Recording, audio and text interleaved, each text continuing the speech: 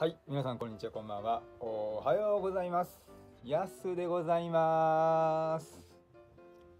白血病と病生活の気晴らしいね自力化動画を配信していきます、えーこの動画でね白血病や癌になってしまったたくさんの患者さんそしてそのご家族お友達が元気になってもらえますように頑張っていきます、えーそして皆さんこの動画配信をきっかけにですねぜひ献血骨髄バンクにご協力ください。皆様の血液が必要です。日本全国世界中で YouTube を見て皆様どうぞよろしくお願いいたします。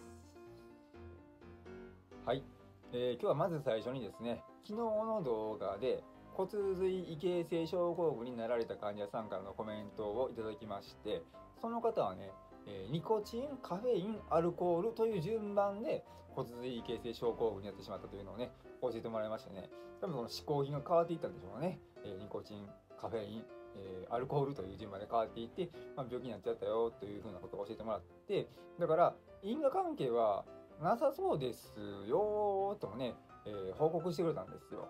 でもねやっぱり喫煙は良くなかったよねともね教えていただきました。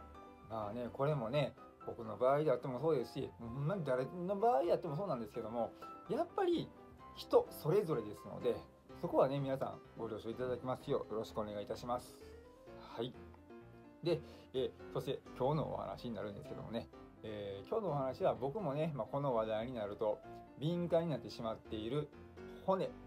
骨のお話でございます。骨に関するお話でございます。でね今思ったと思うんですよ。白血病と骨って何の関係があんねんやつ何言ってんねんって思われたと思うんですけどもあの白血病でね骨髄移植をしてで免疫抑制剤を飲んでいるとですね骨粗鬆症とか、えー、大腿骨と壊死症というね骨が脆くなって起きやすくなる病気にも気をつけなければならないんですよ。だから、まあ、骨には敏感なんですよという話なんですよ。でもまあねこれはね結果的には免疫抑制剤を飲み終われば危機は回避できるんですけどもしかしね、えーまあ4年というね、長い長年 長年ってないね、えー長年飲み続けているとですねたとえ免疫抑制剤の分量がねこの期間であってです。期間で少しずつ少しずつね減ってきてたとしてても副作用としてね現れてしまう恐れがありますので気を抜くことができません。それにね骨というのはですね、えー骨の中にね骨髄という場所がありましてそのなその骨髄の中にある骨髄液ではですね血液を作る造血管細胞というものがありますので骨が脆くなればその造血機能っていうねあの血液を作る機能がですね損なわれてしまいますのでこれは危険なんですよ。しかもねこれは僕のような病気をした人間だけじゃなくて骨というのは誰しも備わってる臓器ですから誰しも骨が脆くなれば造血機能が損なわれていきます。怖いですよね。めっちゃ怖いですよね。そしてねまあこの手の話になるとやっぱりですね女性の方が例に挙げられることがあるんです。女性はね男と違って生理妊娠出産がありますのでそれらに伴って貧血状態というものがついて回ってくるんですよ。それにね妊娠後期と,、えー、と授乳期ねお乳あげてる時期ですよね。という時期にはですね母体お母さんの体からねえ体の中の胎児赤ちゃんへそしてえ新生児乳児に、えーの時期にわたってですね多く多くの量のカルシウムをその赤ちゃんに供給していくためにですね骨粗鬆症および骨折の原因となる一時的な骨量低下骨の量が低下する骨量低下というものを招くことがあるんですよ。しかもねこの時期ってね、まあ、出産される時期に来るとですね、えー出えーちゃうわ。かん、ね、出産をする時期じゃないですか。そのように考えられますのでね。えっ、とね出産できる時期か。出産できる体の時期として考えられますので高齢期ではなくてもう赤ちゃんはもう産まなくなった時期生まれ産まなんて言うんでしょうね言い方がねちょっと難しいんですけどもね、えー赤ちゃんをもう産まない時期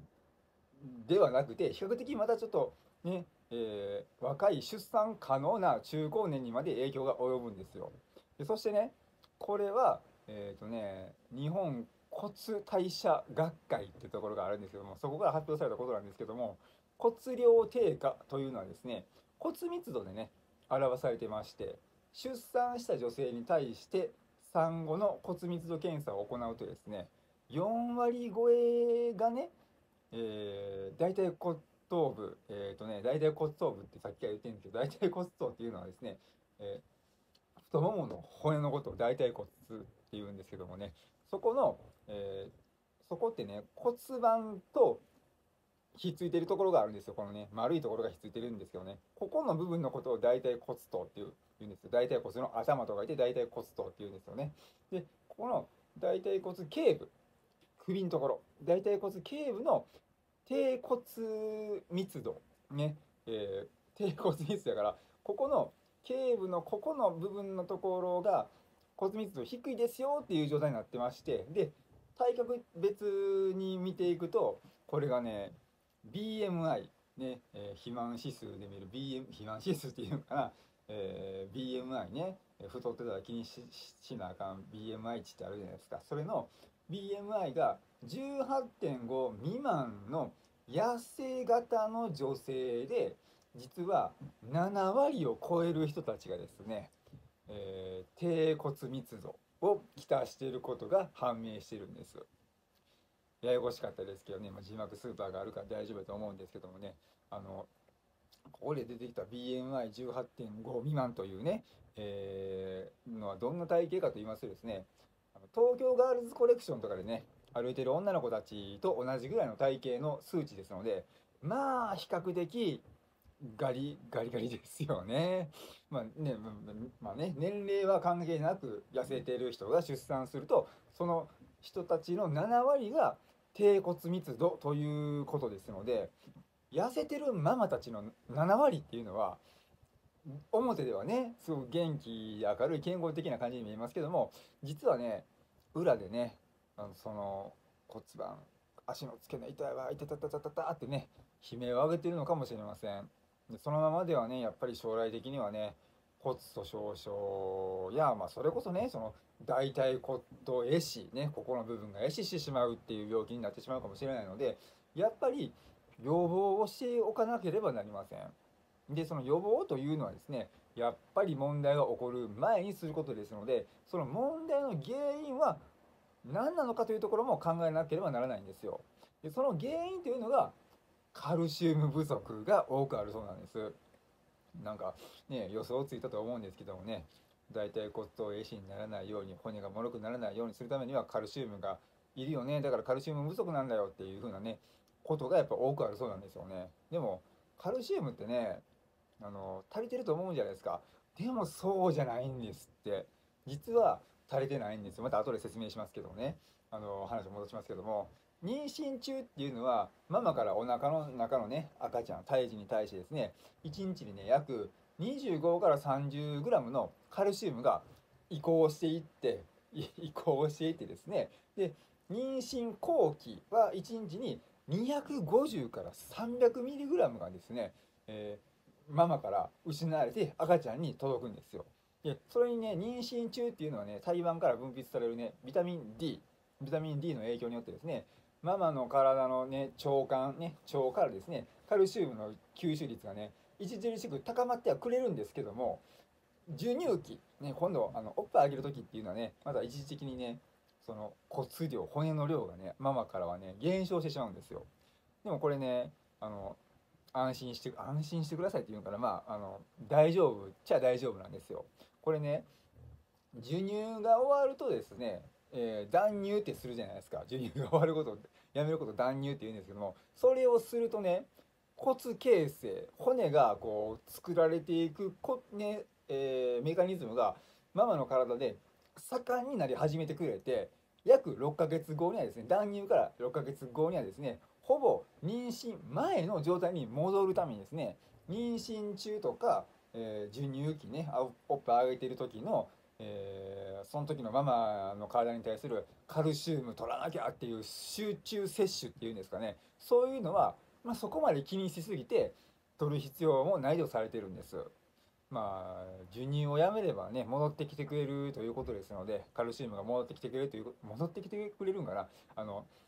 正常に作り出されてるということなんで、まあ、その時にはね、体調も少しはね、優れてくると思われます。骨盤もね、骨盤痛かったけど、もう大丈夫やわっていう感じでね、戻ってくると思われます。でしかしね、一方でですね、カルシウムの摂取をめぐってはですね、ね、先ほど言いましたよね、カルシウムのお話しますよって言いますよね。今から始まります。で、あの、カルシウムの摂取をめぐってはですね、日本国内ではですね、多くの年齢層でですね、え高齢者、中、えー、ね、後期高齢者、高齢者、中高年とかね、あとまあ若年層とかあるじゃないですか。あるじゃないですか。そのね、えー、多くの年齢層、まあ、ほぼ全ての年齢層でですね、実はカルシウムの摂取不足というのが問題となっているんですよ。あの成人女性のね1日のカルシウムの摂取量の推奨量というのは 650mg なんですけどもね実際の摂取量というのは平均的にね 450mg 前後でしてこれはすごくねあの不足傾向が続いてるんですよずっとね。で2019年のね国民健康栄養調査というのがあるんですけどねそれによりますと18歳から29歳の女性の平均的なカルシウムの摂取量っていうのは 435mg となってましてこれねもう極めて不足している状況なんですよね。でこのようなね低摂取カルシウムの低摂取が続くとですね将来的には深刻な健康被害が生じる恐れがあるんです。特にねこれぐらいのこの18歳から29歳頃までにね出産を経験される方がまあまあ比較的に多い時期とされてますけどもねそんなまだまだね若くて元気な時の人たちはですね実はカルシウムが足りてないだなんてねあの本人も思ってないやろうしで他人もね見た目ではねわからないわけでございますよ。ね、例えばねスーパーでねスーパーで買い物行ってですね18歳から29歳ぐらいの女性とねパッてすれ違うざまでもですねうわあの人可愛いのにカルシウム足りてやらへんのやわってねわからないじゃないですか 絶対に。わからないですからね。それにねその、えー、低骨密度っていうのを引き起こしてしまうね危険因子についてもお話しするんですけどもねあのこれはね実はね妊娠する前の BMI がね有意な関連を示しているそうなんですよ。これね先ほど18.5以下って言ったじゃないですか BMI ね。でこれがねあの妊娠前からの数値が大体こう持ち越されてくるんですけども妊娠前に BMI18.5 以下だとですねちょっとやっぱ将来的に不安だそうなんです。なのでね、まあ、これから妊娠出産をされる人っていうのはねもうちょっと BMI を増やしてあげてもいいかもしれません。まあ BMI18.5 以下のね7割がですね、えー、低骨密度に当たるのでそんなん関係ない私はそのね他の3割だよ。私は3割ですよ。という方にはま関係ないんですけどもそれは誰にも分かりませんのでね。なのでたとえねその18.5以下 BMI が18.5以下であってもですねカルシウムだけはしっかりと妊娠前からというかまあやっぱりね若い頃よりも子供の頃からねずっとカルシウムっていうのはねずっとずっとねしっかりとっておくべきだったんですよね。でそんなカルシウムっていうのはね、えー、やっぱね先ほどから言ってますように骨を、ね、しっかりと作ってくれるんですけども実はねそのカルシウムだけではしっかり骨って作れないんですよ。でそこで必要となってくるのは、ね、一番最初に出てきましたよね。ビタミン D なんです。ビタミン D ね。しかもねビタミン D っていうのは骨だけではなくてですね、えー、心血管疾患肥満糖尿病認知機能呼吸機能ね、えー、息を吸う吐くっていうね呼吸機能ですやん。で、えー、免疫機能などなどねほとんどのことに関与することがビタミン D は知られているのでとっても大切なんですよ。しかしねそんなこと言ってもね実はビタミン D ってね取りにくいんですよね。吸収しにくいんですよ。だからなのでビタミン D 不足に陥っている人もいてるんです。そんなねビタミン D の欠乏というのはね、